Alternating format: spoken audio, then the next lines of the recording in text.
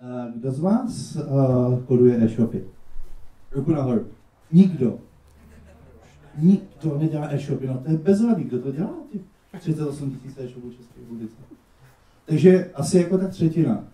Dobře, kdo se někdy setkal s filtrací na čemkoliv, že si potřeboval filtrovat nějaký obsah?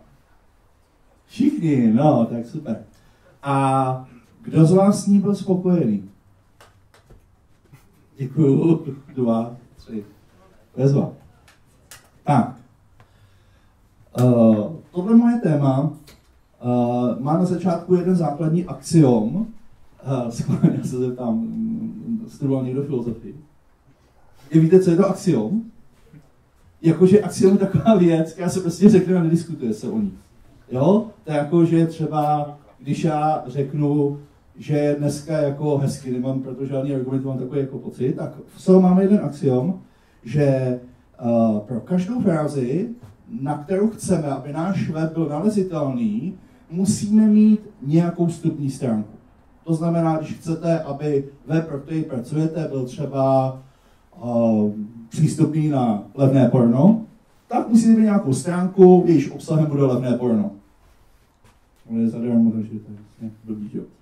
No a pak druhá věc, která s tou vaší prací bude souviset mnohem víc, že ta stránka musí být indexovatelná, to znamená, že její vyhledávač musí být schopný projít, najít a uložit do nějaké své databáze. Tak, někdy nám e-shopy říkají, no ale my ji máme.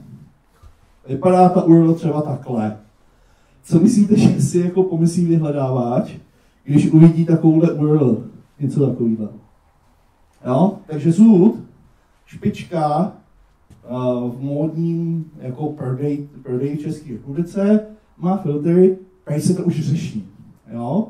Uh, tenhle uh, screenshot je z minulého týdne.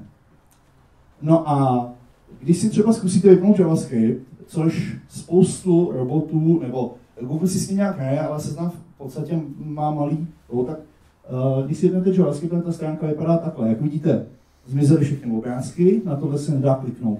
A vyplyne vám tu takovouhle hlášku. Samozřejmě pro uživatele uh, to, ty to příliš nezajímá. Já nevím, jestli kdo máte aktuální statistiky, já si myslím, že téměř nikdo, kromě nějakých jako magorů, ne, neprohlíží jako bez svyknutým JavaScriptem. Doufám, že jsem se nikoho nedotknul teďka. jo, jako já to nedělám, nevím, ma, prohlížíte někdo internet s vypnutým JavaScriptem, třeba Facebook? To by mě zajímalo na Facebooku, jak to funguje. No, jasně. Je jako, že když je k tomu specifický důvod, nebo když já třeba něco kontroluji, to je jasný, jo, ale jakoby, že běžně, to si myslím, že těch lidí je strašně málo. Já jsem četl nějakou statistiku, že to je 1 až 2% pořád, hmm. což mi přišlo jako děsivý. Jasně, no.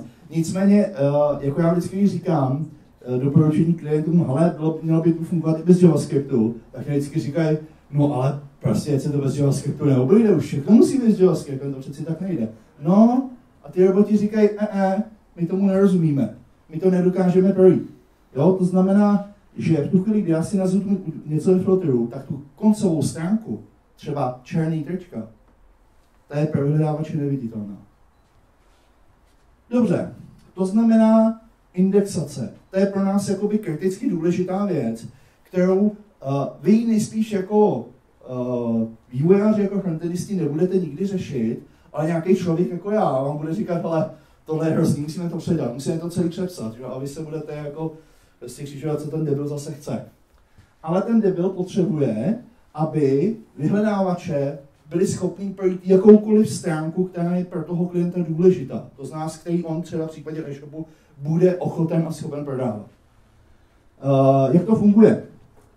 Na začátku Google posílá nějakého svého robota, Carolina, který přijde na stránku, stáhne se jí obsah Uh, což je jako první věc, že tam musí přijít a musí si umět stáhnout její obsah. To znamená, když je tam třeba spoustu JavaScriptu, tak on ho nedokáže ten crawler projít a ten obsah si vůbec nestáhne, pak si běží do nějakého datového centra a tam je jakoby další algoritmus, který vyhásí to, čemu nerozumí a ukládá do té databáze jenom to, uh, čemu ten hledávač rozumí.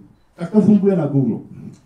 A protože seznám má mnohem méně výpočetních zdrojů, tak tam je to trošku jinak. Já, když jsem se před asi třemi týdny o tom bavil s Dušanem on mi říkal, že mají jako něco, že tam krále tam nejdřív jde a zjistí, jestli má cenu ten obsah vůbec stahovat.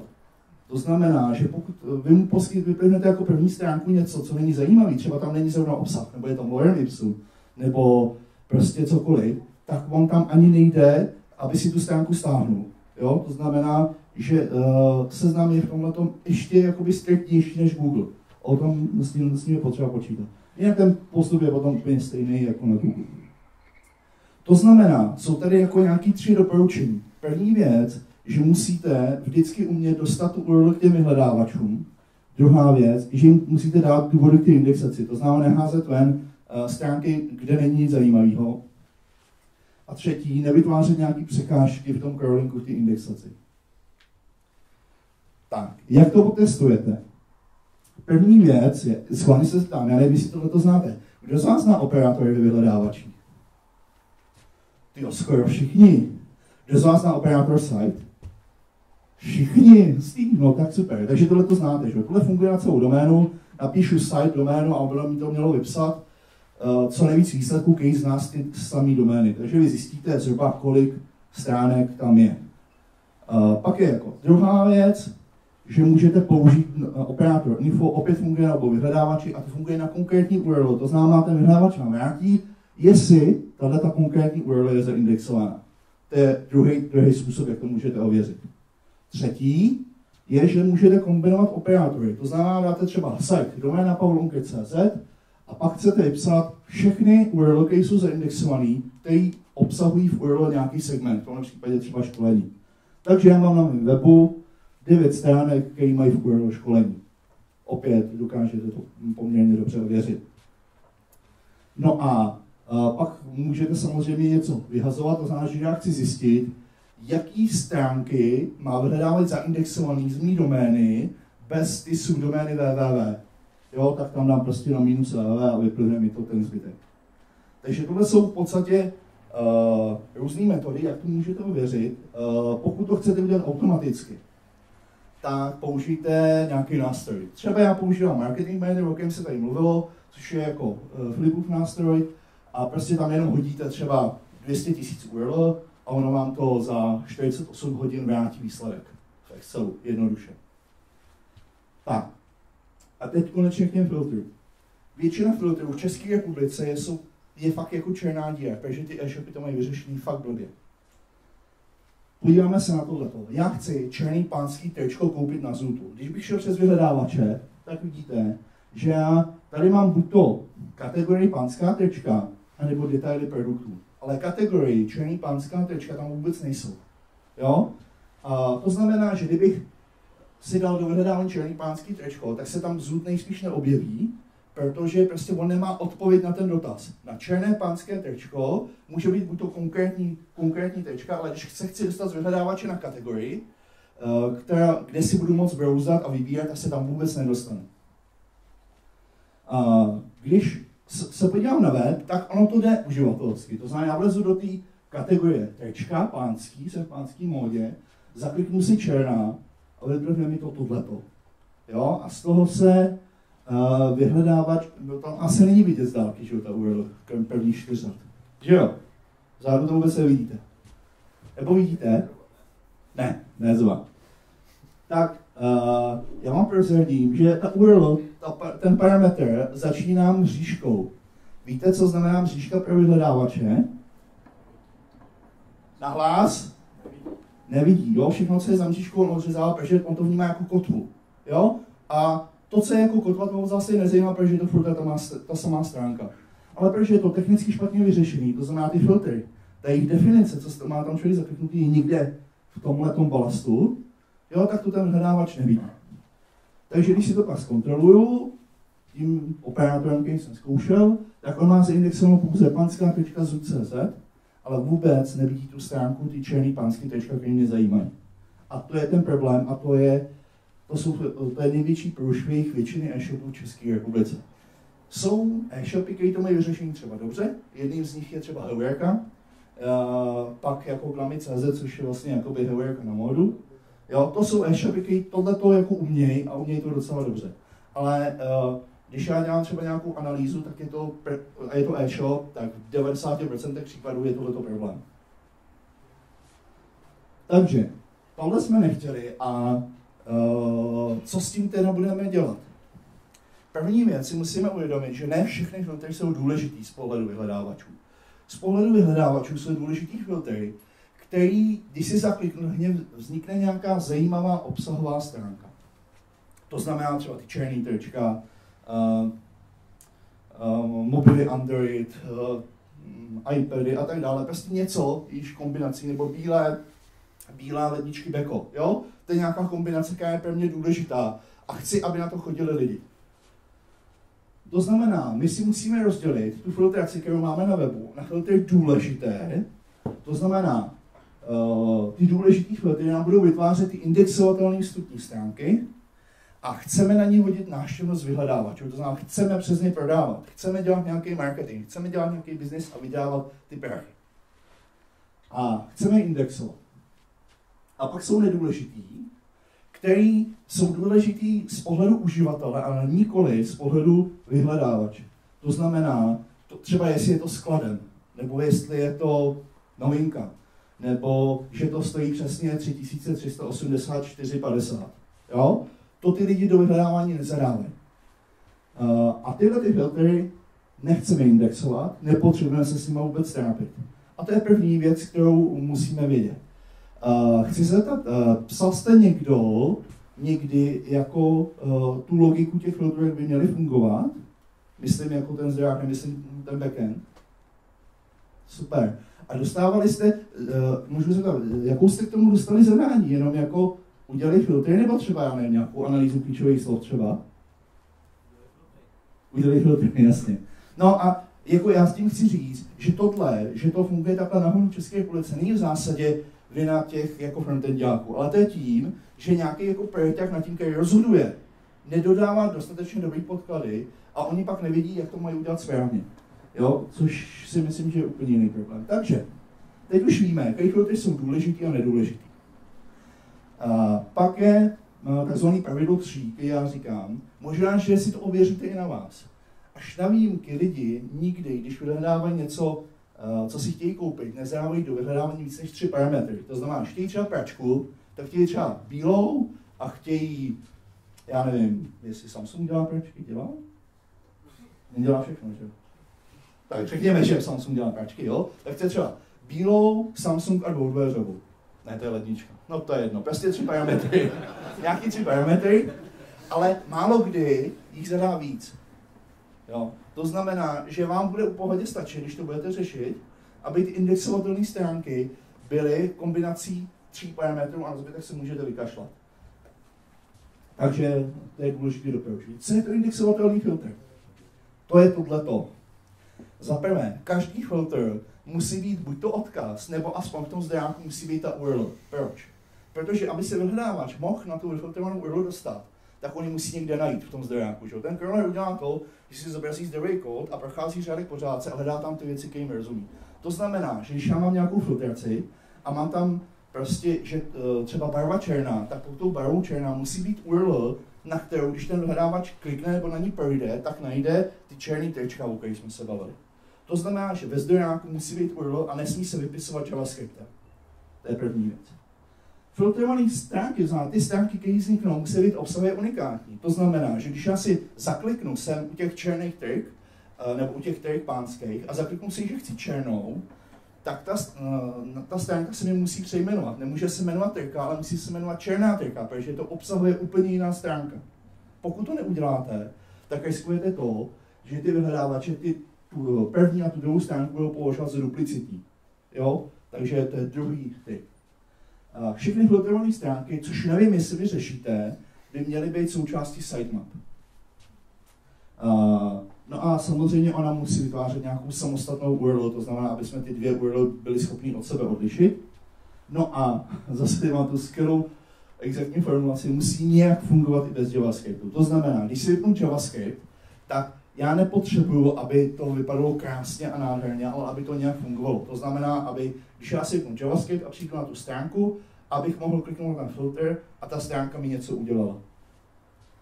A tohle vy musíte udělat i jako každý filtrace. Ano?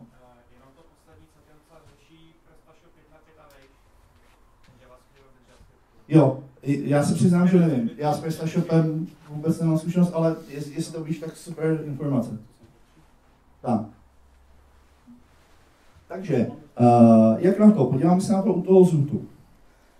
Představte si, že máte kategorii těch triček a tam máte tři filtry. Barvu, značku a velikost. A já musím udělat to, aby když robot přijde na tuhle stránku a vidí tyhle ty tři varianty, tak aby všechny tři mohl projít. To znamená, pod těmhle filtrama musí být ty URL. A, takže ten robot si řekněme jako první vybere černou. Dostane se na druhou stránku, která se bude jmenovat černá trika, pánská, a zbudou mi tam už jenom tyhle dvě. Protože to už si vybral. To není potřeba, aby tam byla. A pak si zase nějakou vybere, třeba značku. Takže to bude Puma. Dostane se na stránku, pánská černá tečka Puma, bude se tak jmenovat ta stránka, bude odlišná od těchto těch dvou předchozích. A zbyde mu tam už jenom poslední filtr, a to je velikost. A dostane se na poslední stránku a ta se bude jmenovat uh, pánská černá tečka Puma velikost L. A tohleto, tuhleto logiku tam musíte mít zachovanou tak, aby vyhledávači byli schopní projít, indexovat a poskytovat vyhledávání všechny tyhle ty stránky a jejich varianty. Proto jsem říkal to pravidlo 3, protože když to uděláte pro všechny a máte fakt velký web typu MOL, tak vy vytvoříte možná miliony nových stránek. Jo? A když je má vyhledávač miliony nových stránek procházet, tak on se na to nejspíš eh, vykašle. To je to, o čem mluvil Filip o tom core budgetu, že každý web má vyhrazený nějaký jako budget, kolik času nebo kolik výkonů mu ten hledávač věnuje. Tak. Finta. Lidi jsou jako uh, taková divná verbež, oni se nám chovají svobodně. Takže jednou přijde člověk a nejdřív si zaklikne, že chce černý tečka a Puma a velikost L. A já bych vygeneroval takovouhle URL. Bezva. Pak přijde druhý člověk a ten si řekne, OK, tak já chci černý tečka. No a vlastně chci velikost L a líbí se mi Puma. A kdybych to dělal, tu URL generoval podle toho, v jakém pořadí se zaklikává, tak mám dvě různé URL pro ten samý obsah. Opět duplicita. Jo? Takže vy musíte to vyřešit jinak. To znamená, že tady bude třeba nějaká kanonizace nebo přesměrování nebo něco, aby nevznikaly prostě duplicitní URL. Protože ten obsah týhletý a tyhle stránky je úplně stejný. To znamená, že když máte nějakou filtraci, kterou jsem tady naznačil, tak máte filtry, které mm, vás budou zajímat, třeba typicky značka, barva, to, co nás zajímá, které jsou indexovatelné. No a pak filtry, které nás příliš nezajímají, jako třeba skladem nebo takový ten posuvník na cenu. To jsou věci, které nás většinou nezajímají. No ale co se stane, když nám člověk skombinuje filtry, které jsou důležitý a které jsou nedůležitý. To znamená, třeba chce značku a velikost, a zároveň chce skladem. A já to musím, nebo můžu to zkombinovat. Uh, to znamená, tady uh, dám typanská.zu.cz, lomeno Puma, pomlčka černá, což jsou tyhle dva filtry, to je indexovatelná stránka, ale protože já musím zároveň zachovat nějakou uživatelskou přívětivost, co když on chce svý holce poslat ty tečka, které jsou skladem, to znamená, já to musím do té URL nějak nadspat, ale využiju toho, že ten mřížku prostě vyhledávač ignorují a dám to za mřížku. To znamená, výsledná URL je, je prostě Puma, pomlčka černá, mřížka s kladem. Je to z toho důvodu, že prostě vy musíte vždycky zařídit to, aby výslednou URL, ať má jakýkoliv nastavení, byla přenositelná na jakýkoliv jiný zařízení. Třeba uživatelský scénář. Já si kupuju tečko a chci, aby se na něj podívala moje přítelkyně, jestli se jí bude taky líbit. To znamená, já si nadefinuji nějaký výstup, pošlu ho, pošlu jí konečnou URL a potřebuji, aby viděla to samé, co já. To znamená, že tu URL tady musím, musím uh, vytvořit tak, aby fungovala. Tak, co jsme získali tím letím?